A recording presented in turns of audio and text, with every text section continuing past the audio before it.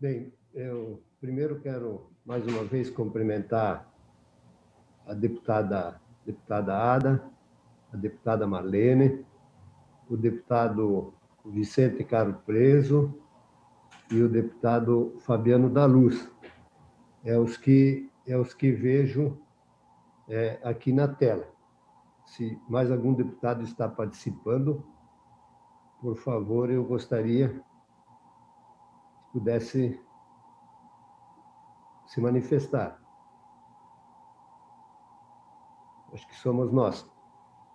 Bem, a nossa reunião de, de agora é para nós instalarmos é, a Comissão de Direitos Humanos, é, com um amparo no parágrafo 1 do artigo 125 do Regimento Interno, de acordo com o ato da presidência de número 003 de 2021, declaro aberto os trabalhos da reunião de instalação da Comissão de Direitos Humanos, referente à terceira sessão legislativa da 19ª legislatura. Em cumprimento ao regimento interno, é, abro neste momento as inscrições para o cargo de presidente e vice-presidente desta comissão. Está a palavra livre com os deputados e aberto o prazo para que se possa indicar, como eu já disse, o presidente ou a presidenta e o vice-presidente da Comissão de Direitos Humanos. Posso falar, presidente?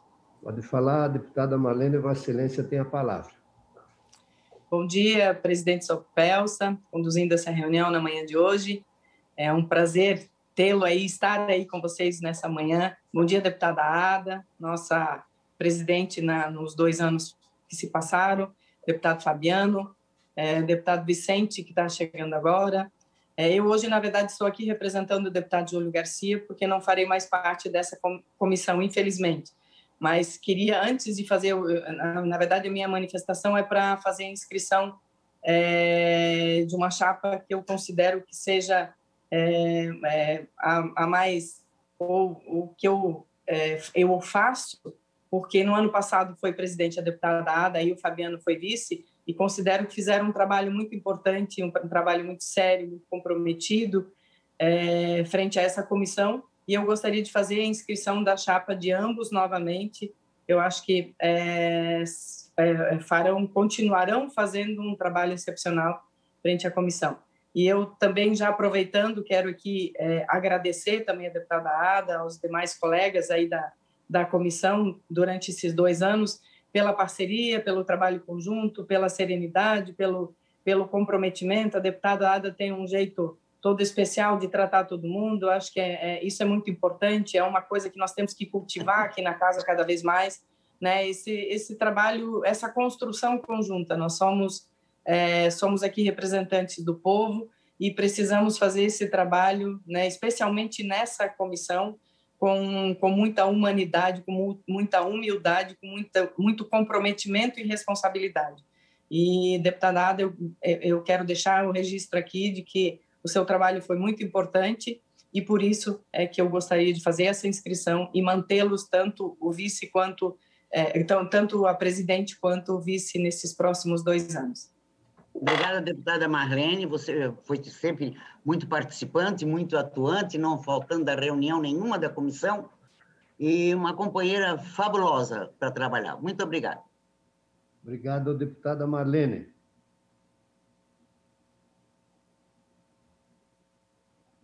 Eu poderia, se não houver mais indicação de nenhum nome, eu poderia colher, colher os votos. Mas algum deputado, antes de colher os votos, quer, queira se manifestar? Não havendo, não havendo manifestação, eu, então, submeto à votação o nome da deputada Ada de Luca para presidir a Comissão de Direitos Humanos e como vice-presidente o deputado Fabiano da Luz. Deputada Marlene, Vossa Excelência já indicou a deputada Ada e o deputado Fabiano. Eu colho primeiro o seu voto, embora não precisasse. Voto com muito prazer na deputada Ada e no deputado Fabiano. Deputado, deputado Vicente Caro Preso, Vossa Excelência tem a palavra e o voto na chapa da deputada Ada e o deputado Fabiano. Deputado Vicente. Deputado Vicente concorda, eu não tô, eu não estou ouvindo a sua fala, deputado. Sim, apoiado. Ah, muito bem. Muito obrigado, deputado Vicente. Deputado Fabiano. Como vota o deputado Fabiano?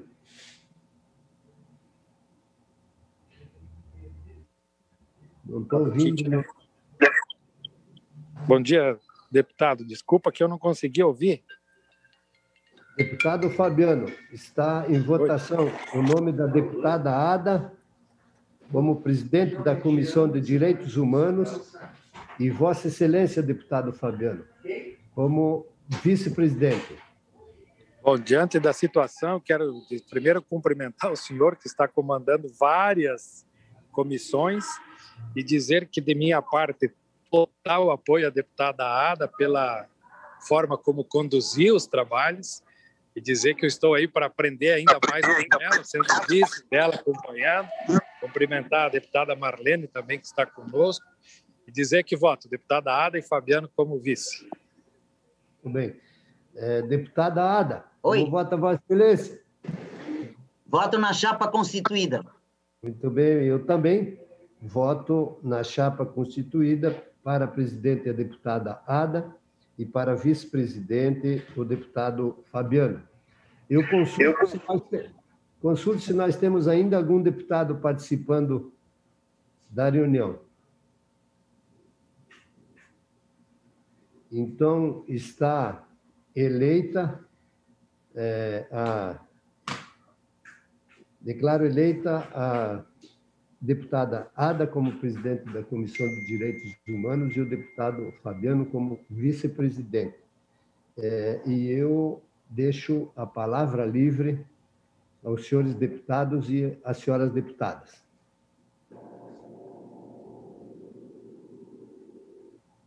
Posso falar? Pode falar, deputada Ada. Gostaria de agradecer aos nobres colegas pela honra de, mais uma vez, assumir a presidência dessa comissão. Reafirmo o meu compromisso de conduzir os trabalhos com foco, com foco total na preservação dos direitos humanos. Nesses tempos de divisões e negacionismo, nossa missão é fazer avançar a aplicação dos direitos civis, mas também lutar muito contra o retrocesso. Retrocesso político que, tá aí, que está na nossa frente. Amigos uh, e colegas e companheiros, os direitos humanos não são normas que protejam a que são normas que protejam a dignidade, dignidade de todas as pessoas. Quando falamos em direitos humanos, nós falamos em deveres, tá? em responsabilidades. Quando nós usufrimos nossos direitos, nós devemos respeitar muito o direito dos outros também. Os direitos humanos são universais, ou seja, todas as pessoas em todo o mundo têm o direito. Não há hierarquia de direitos humanos. Não existe o direito maior ou o direito menor. Todos os direitos têm o seu valor. Todos temos direitos humanos sem discriminação de qualquer tipo que seja etnia, cor, gênero, idade, religião, opinião, nacionalidade, idioma, origem social, necessidades especiais, entre outros muitos. Por fim, senhoras e senhores deputados, cabe a nós, detentores de cargo público, cumprir e fazer cumprir as normas e padrões legais consagrados nos instrumentos que temos a nosso dispor, que são os instrumentos do direito humano. Ou seja, nossa missão é redobrada. Temos nossa missão individual, como ser humano, né, como cidadão, mas também temos a nossa, a nossa missão como ser público. Essa missão, com certeza, é uma das mais importantes do Legislativo, essa comissão, a meu ver, é uma das mais importantes uh, do Legislativo catarinense. E digo por quê? Porque ela dará, dará rumo a muita coisa que está sem rumo ou que não tem rumo. E aí é que se forma uma sociedade com organização. Uh, principalmente, né, caros colegas, nesse momento de combate ao coronavírus, que nós estamos vendo tanta desigualdade. Por isso, vamos redobrar nosso esforço na defesa do cidadão catarinense. Ah, gostaria muito de agradecer a todos vocês, porque esse ano eu acho que a nossa Comissão de Direitos Humanos será uma comissão com muitas obrigações a cumprir, com muita coisa a realizar. É uma comissão que tem um apelo muito grande nessa hora uh, desse pandem, desse digo pandemônio, desse uh, coronavírus, tá? Então, é uma coisa assim que eu acho que vai nos pegar com muito trabalho. Muito obrigado a vocês, conte, tenho certeza que o povo todo pode contar conosco dessa comissão e com os 40 parlamentares, não é possível. Deputada, tá? Muito obrigado. Deputada Ada, eu quero, quero pedir desculpa, né? Eu devia ter passado já a condução dos trabalhos à, à Vossa Excelência.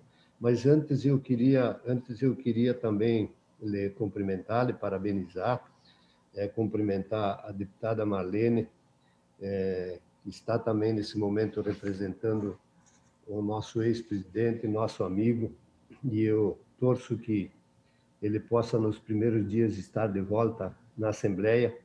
É uma pessoa que tem aqui dentro desse parlamento um trabalho que o dignifica e que lhe dá é, é, muita liderança dentro do parlamento catarinense, que é o deputado Júlio Garcia. Eu estou torcendo que ele possa é, superar esse momento difícil que ele está passando e ele volte, nos primeiros dias, a fazer companhia a todos os 30, mais 39 deputados aqui.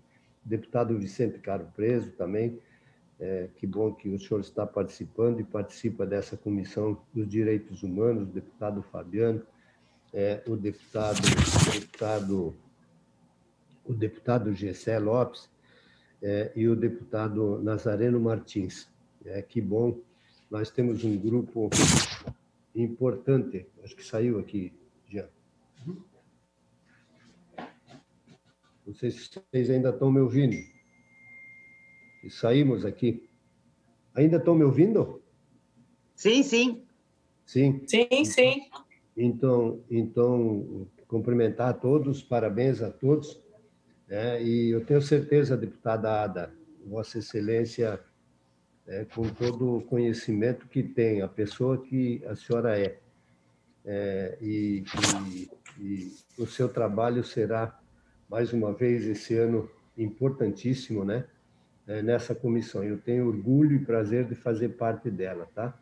Eu vou fazer o que posso para poder contribuir que esse trabalho seja de fato de respeito e dignidade às pessoas. Deputada Ada, eu passo a palavra a Vossa Excelência para que, a partir de agora, a senhora conduza os trabalhos e reempossada de novo a presidente e o vice-presidente. Obrigado, deputada Ada, obrigado, deputados e deputada Marlene. Alguém deseja fazer uso da palavra? Eu acho que não, porque só estamos acho que só nós três. Tá? Outra coisa que eu queria dizer para vocês, uh, para os membros da comissão, que logo, logo que eu tiver com a pauta pronta de reuniões, aí eu, eu convoco a primeira sessão, tá? Muito obrigado a todos e essa sessão está encerrada.